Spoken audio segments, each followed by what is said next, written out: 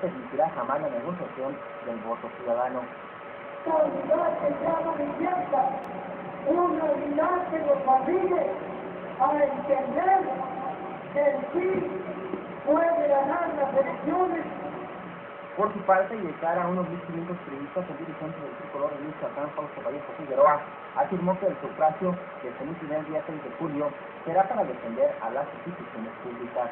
Además, con el apoyo del revolucionario institucional, también será respaldo a los gobiernos del presidente Ernesto Cedillo y del gobernador Víctor Manuel Tinoco Rubí.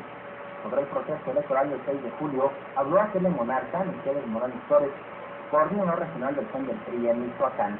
Yo siento un ambiente propicio para el triunfo.